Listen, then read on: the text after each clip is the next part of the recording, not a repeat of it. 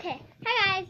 It is Mix59 here with Rex79, and we got a new hamster. His name is Ethan Scott Kenor. We got him from Petco, and there are only boy hamsters there. If you want a playful one, you can ask an owner. They're at Petco, and they will show you into the back, or like which ones are playful. We got this little guy because we thought he was adorable, and he never bit anything or anyone except for like one one day because today he bit his cage because he wanted to get out and play with us. But that's about it. And roll the clip. We're gonna play. That is like perfect. Okay, so we are just gonna let Ethan climb up this. If he goes all the way to the top, yay! Can you see him? oh, he's going. Oh, he went the other way. Come on, come on. Oh, he's going. He's going. He's going. He climbed all the way. No, he didn't. You didn't let him.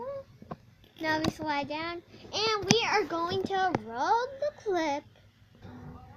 Okay, so we're just trying to see that bin right now, and focus on that bin, uh, us, because we're gonna